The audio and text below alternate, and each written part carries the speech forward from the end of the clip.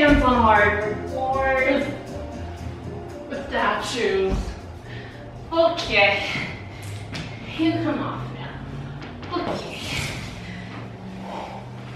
Oh. It is Saturday morning.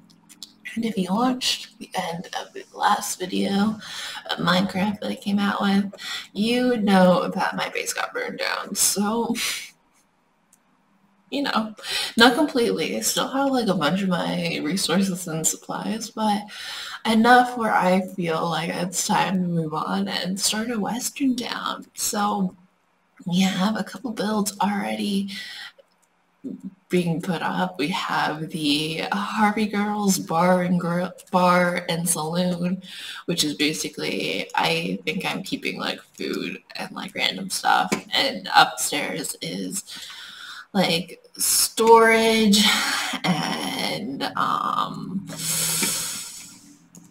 slash uh, good things. So um and they're just, you know, not really important. Just kind of drop chests, um, not wood storage. I am trying to consolidate um, just because I feel like the last storage system that I had in the other base was kind of outrageously large.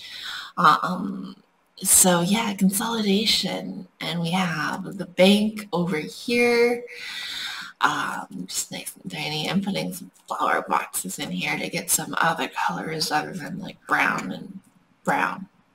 Um, still need to get the roof on, but yeah, I already like how this is turning out. I've been wanting to build a Western themed for a while, even though as I'm building the Western themed as we speak, I'm like, wow, out of all the styles there are to play in Minecraft, I feel like this style is not one of my favorites, but excuse me for the yawn. Um, but you know, we're dealing with building within this style for now, and yeah, we'll be here for a little bit more um, getting the spruce logs, but it's been a while since I've had to go around and detail things. So I really think with the how basic the shape of Western theme builds are, it gives me the opportunity to really go in and be like, yeah, I want to put this block here. Can we? Oh, yeah, we can put a mud in there. Um, which, you know, is kind of like a another layer of building that I have completely been ignoring. Um, so it's nice to come back to this. I don't know if I want to extend the top roof up a little bit, but I'm going to finish off the roof a little bit and continue on. And then, yeah, hopefully you guys will enjoy the day and Oh, I'm sorry. I just woke up. Um, still yawning. Still have not had coffee. But I wanted to, you know, update you on the tragedy and the growing past of the Wild West theme was very fitting because it was it's always like you know you just deal with kind of the tragedy, the complete um, you know leaving worlds as you know it um, and going into the Wild West. Me and Dillinger have been listening to um, History Chicks podcast around the Wild West theme. So we listened to an episode they did about the Harvey Girls recently, which is um, has something to do with the rail lines and establishing, um, you know, families and like living people in the um, Wild West uh, surrounding the railroad lines because like, you know, it's logical that populations grow from the travel routes that are in place. And apparently this one guy, Fred Harvey, was um, the guy, uh, what's phrase I want to, um, he, that is credited as bringing civilization. I don't know if it was Fred Harvey or his son, but credited as bringing civilization to the West Coast, whatever that means in Victorian era um, terms. And yeah, so Fred Harvey, there's a bunch of babies that were either named Fred or Harvey because he would bring out a lot of women as waitresses to the Wild West to serve. You know, the bars and restaurants that were along the line of the trail route, railway, right, route. Um, and yeah, then these women that would come out to the West would end up getting married by, you know, railroad workers or gold rush people or people looking to make a living in the West. And so they would go and start families. And yeah, it was really interesting. Apparently the owner, Fred Harvey, would, would have his um, waitresses sign contracts being like, okay, I'm not going to leave for a year after getting trained or otherwise I forfeit my um, salary. Like that was such a scam, not a scandalous because it was a rather normal thing, but it was such a problem for him that he would lose his waitresses to, you know, family home life because this is Victorian times. Do you think mothers are working outside of the house and raising children at the same time? Nah. But um, it's really interesting. Entire generations of little boys named um, Fred or Harvey. So if you ever wonder the population of those two names, it is because, well, partly because Fred Harvey helped facilitate the Wild West. And yeah. Anyways, I am going to go ahead and continue making a space for more buildings and then finishing up the roof of that other bank building that I have yet to complete. I don't know how I want to, you know, make the front signs at the front of the buildings, um, like, cause that's supposed to be a like bar saloon. This is supposed to be the bank. Um, so I don't know what would be the best way to. Oh God. What's the best way to make signs that say bank and saloon? Because I feel like that would add a lot of detailed um, into what I'm making. Wow, I really need to go drink coffee. So let me accomplish that feat and a few more things in this game of Minecraft. And then I'll get back to you with hopefully some more stellar information about things that I learned. All right, we are back at the original base not the original base, but the main base that we've been at for a while. And wow, if you wanted to take a look at the aftermath of what happened, feast your eyes on just a bunch of waterlogged squares.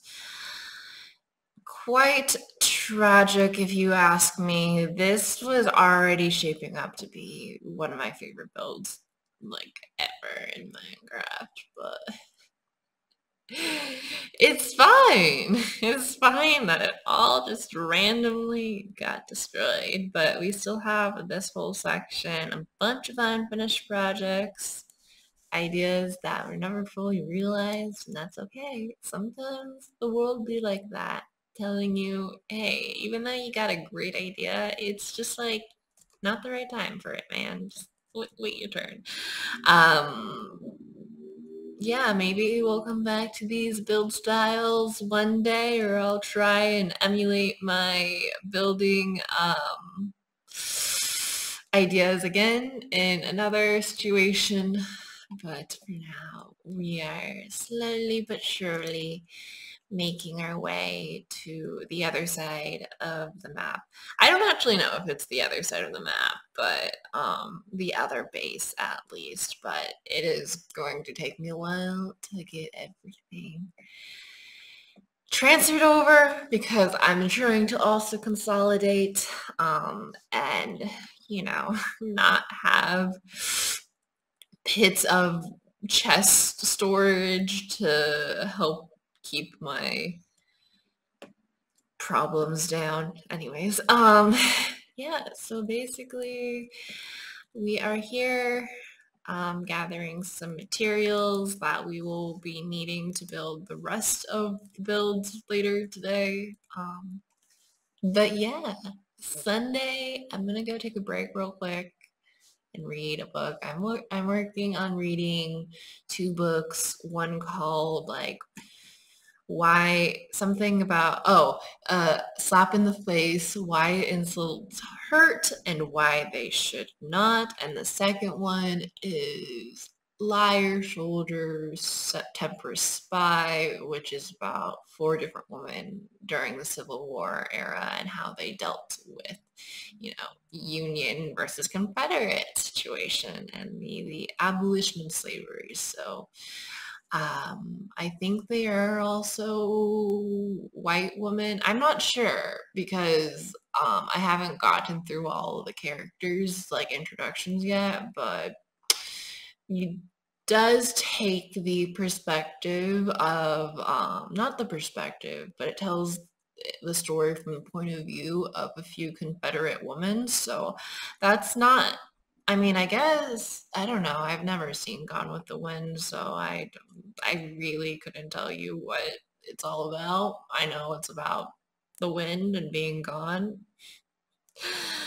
But um, yeah, I don't think I've really, I personally have consumed many forms of media that takes on the perspective of the Confederate woman. I mean, I don't think so. I'm thinking back to the things that I read and consume. I genuinely don't usually pick out reads. I think I picked out this particular book because like I don't know, it the title was interesting to me to be honest. I got sold by the title and yeah, this is turning into a little book clip, a book talking clip, so forgive me. Um yeah, I'll let you know how the book turns out.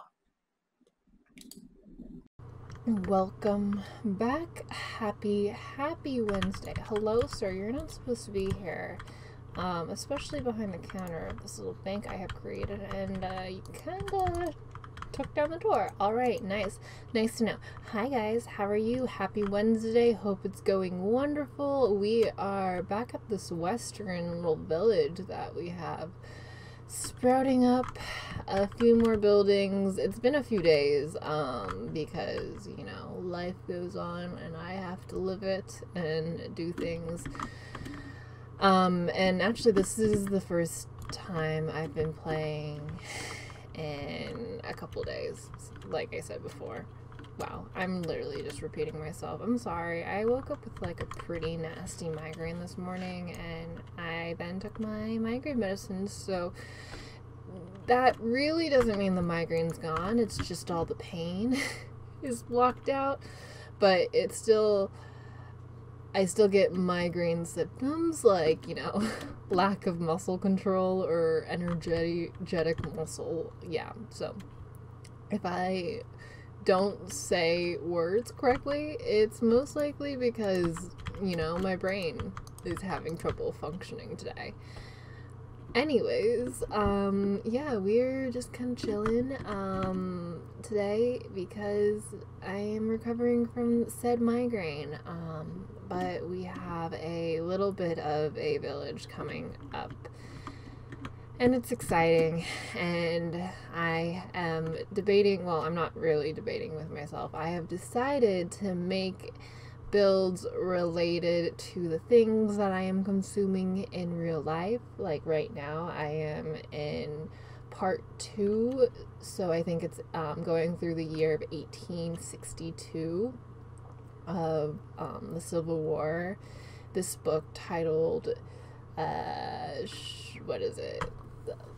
Liar, temptress, soldier, spy, four woman undercover in the Civil War by Karen Abbott, and I'm really entertained with it.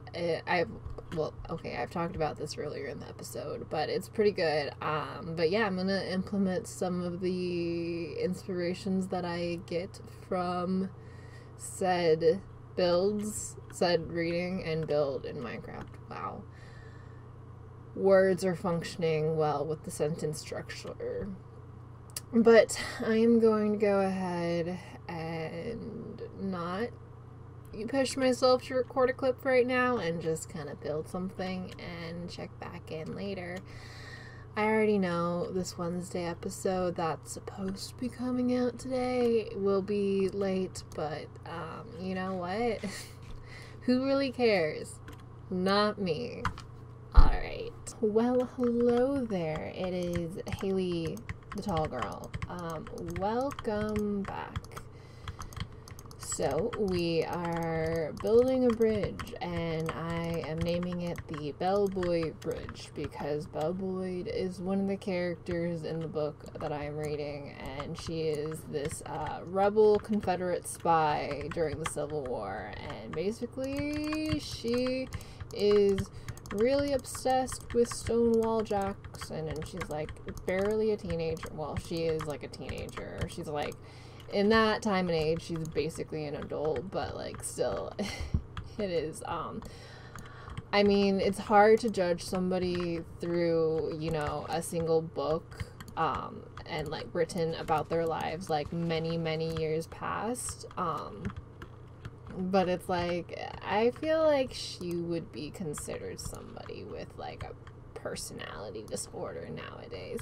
I don't know. I like I'm not a licensed psychologist by any means and I am like not um trying to be like she's terrible. Well, she is kind of terrible cuz she did support the Confederacy, but and she was like a Confederate spy, but I mean like yeah, she was not really well liked by the other females in town. Um, and apparently, when she was arrested, people were just like, cool, goodbye.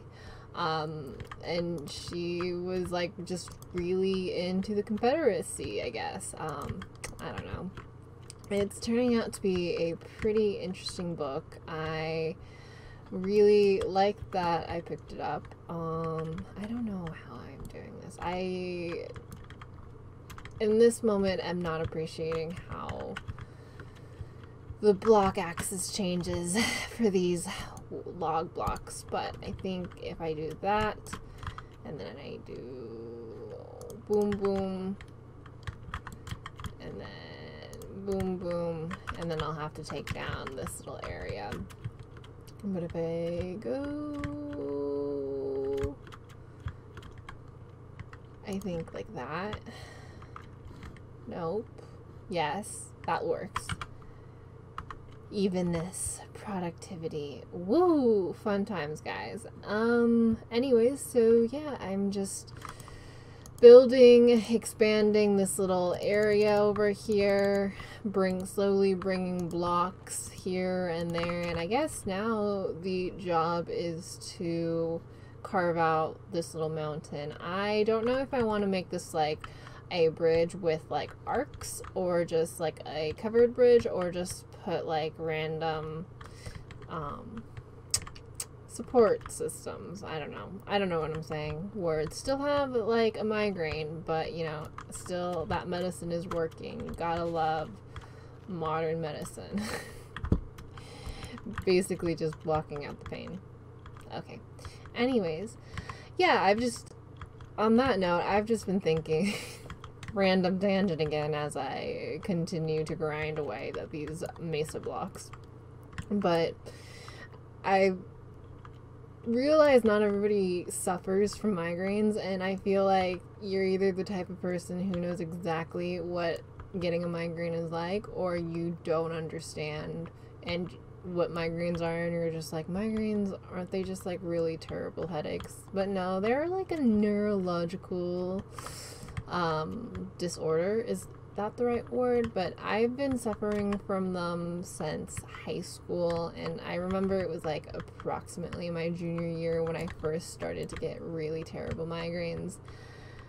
And yeah, that's luckily um, my mom also suffers from migraines, so we kind of knew what to look for, and she at least knew the signs and was able to help facilitate like the proper care for me.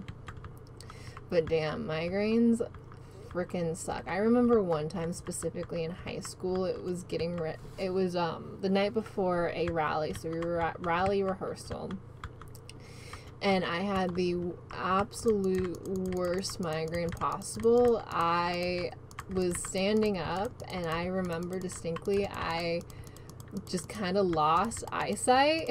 but I had to stay in place because, like, you know, that's that's rehearsal. So I kind of just like stood there being blinded by like you know my own brain and the light.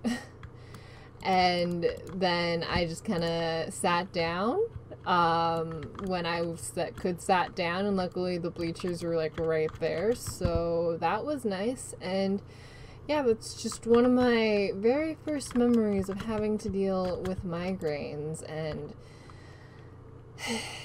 it's just like I think the ability to take migraine medicine because and I think having migraine medicine that actually works because some people um, can't even take the migraine medicine, and that's very, very unfortunate. And sometimes I haven't done gotten this terrible a migraine yet, but it's literally like they have to go get a shot to calm down or be relieved of pain and hopefully I'll never have to experience that, but just even dealing with waking up this morning and feeling like somebody was stabbing me through the eye um, is pretty terrible, not gonna lie. But, you know, who really wants to listen to Hayley's uh, complaints about her medical brain issues. Brain issues mean migraines are a neurological thing. Did I already mention that? Yeah. The whole brain working kind of lacks function when you're dealing with migraine. But um yeah, fun times guys. I'm to go ahead end off this episode and this migraine rent rent and remembering um okay i need to do something up there i think i'm gonna do a covered bridge situation but i'll work on that off camera and then we'll come back to you with the next episode. And i already have plenty ideas for the next episode to come so be ready be excited. Winner winner chicken dinner